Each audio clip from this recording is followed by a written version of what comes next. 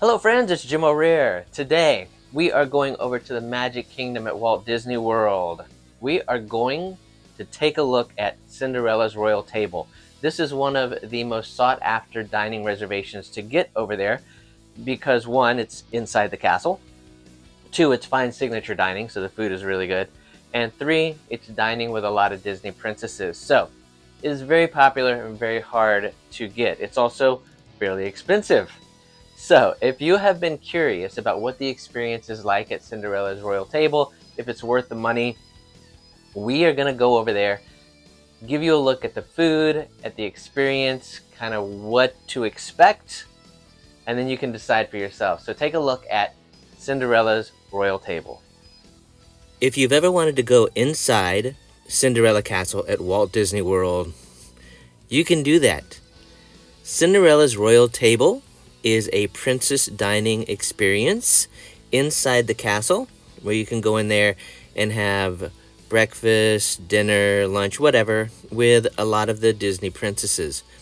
And when you first enter the castle, you go into a, uh, a fairly large lobby or foyer type area, and there are photographers and stuff there to take pictures with you and Cinderella.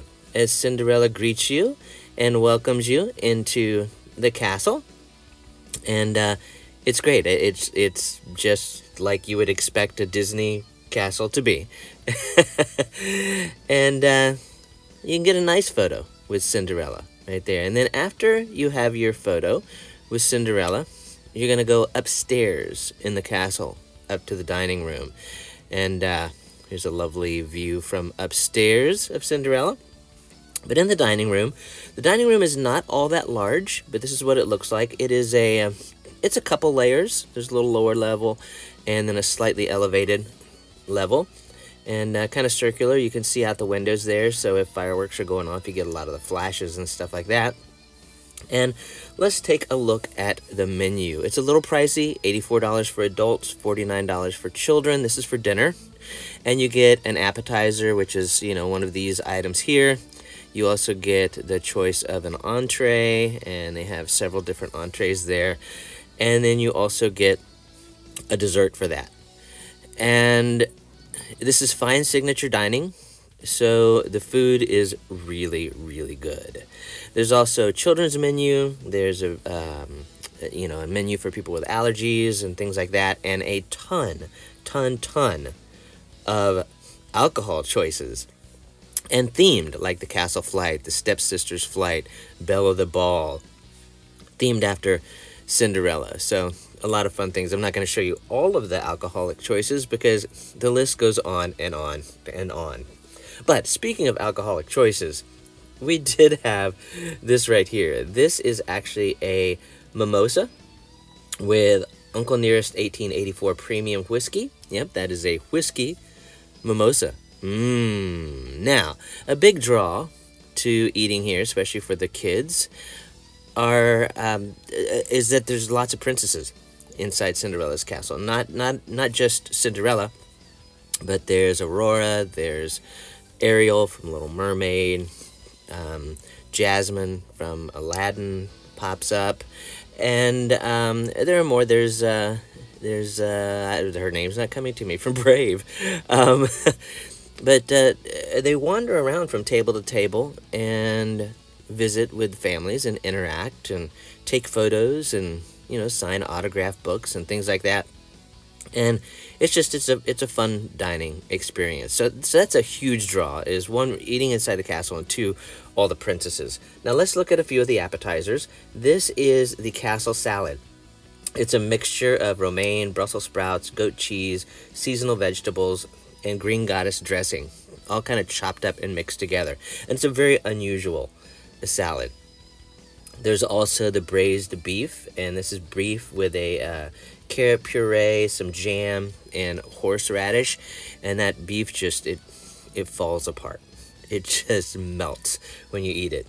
Also, the chilled jumbo shrimp. It has an avocado mousse underneath it, as well as some crispy peppers and micro cilantro and that shrimp is really really good especially when you mix it there now for uh, entrees This is the marinated grilled chicken, and uh, it's chicken with uh, wild mushroom and Parmesan risotto, uh, roasted fennel, and a black truffle butter. So good, really, really good. And this is the um, filet, and it's a potato pave, uh, roasted seasonal vegetables, and a house-made steak sauce. And again, that I mean, you can cut that steak with a butter knife. And this is what medium looks like. If you're curious as, you know, medium, rare, uh, whatever. That's medium, and it is nice and pink all the way through. Now, as far as desserts, this is the cheesecake, and then it comes with seasonal flavored garnishes, and this one has, you know, some raspberry and blueberries and stuff like that. It's it's cheesecake, and uh, and then this is an interesting one. The clock strikes twelve. Cinderella themed dessert, which is a dark chocolate mousse. It has a a caramel and crunchy praline center, and it is served with chocolate sauce and a hazelnut gelato. And that's really yummy. The chocolate is very strong, though. It's a very strong chocolate. Now, all kinds of fun things happen in the castle, you know, as well as the princesses. Occasionally, you're going to get this uh, crazy light show going on to which you can use your wishing star and have fun with that. And, uh, and also, before you go, they're going to bring you either a sword or a little princess wand as a, as a souvenir also. So, lots of fun there. Uh, the food again is really good. It's the signature dining location, so the food is really, really well prepared. Um, you get the castle experience, as well as tons of photo opportunities and Instagrammable moments with the princesses.